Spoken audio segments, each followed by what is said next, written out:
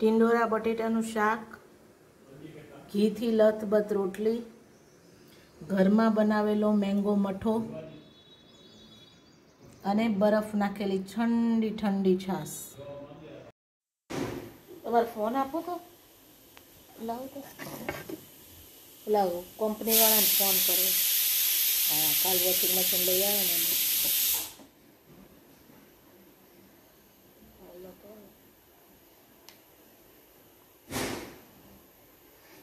Hello? હા ભાઈ.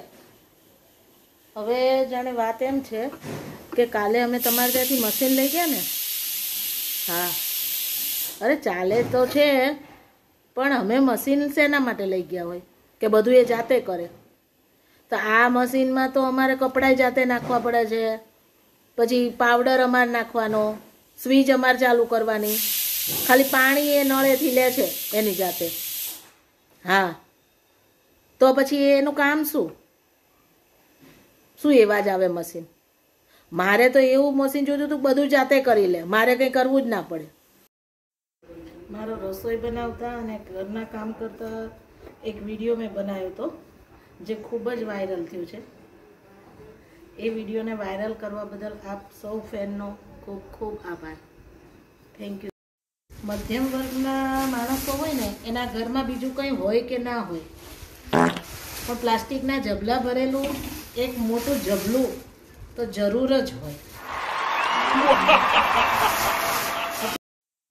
કોઈ રૂઠેલાને મનાવતા પહેલા એ વાત જરૂરથી જાણી લો કે એ તમારાથી રૂઠ્યું છે કે પરેશાન છે.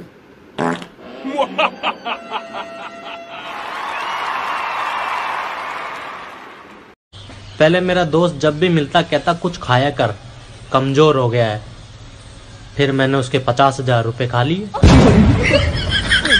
अब सबको रोता फिर रहा है पैसे खा लिया पैसे खा लिया ए यार पहले तो बोलो मत કાલે એક ભિખારી આવ્યો તો આપણે ત્યાં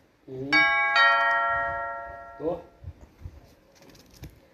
બેન જમવાનું આપ્યું હતું જમવાનું એ બધું સારું ખીરું એમાં કાઢી દી પડે આજે ફરી આવ્યો તો તો હું વાંધો છે તમે લઈ તો હું પીરું એ મન રસોઈ બનાવવાનું પુસ્તક આપીને ગયો.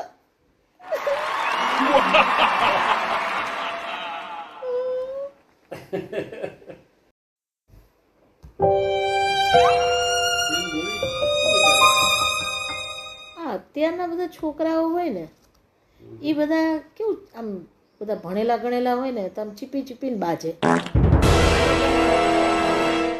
તમે સૌ કૂતરા જેવા છો? તો ઓલું વળી એમ કે. એ તો બિલાડી જેવી છું.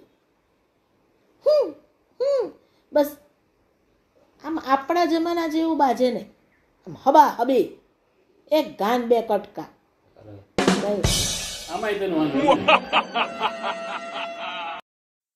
ફોન આપો તો તમારે.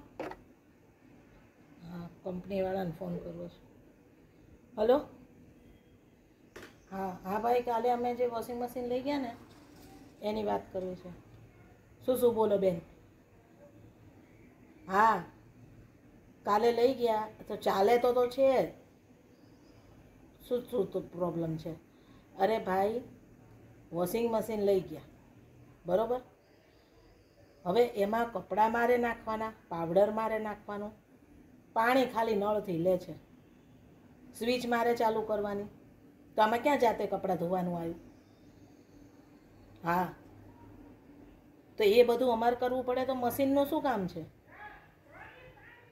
તો? લઈ જાઓ તમે પાછું. મારે તો એવું મશીન જોઈએ કે જે બધું જાતે કરી લે. હા.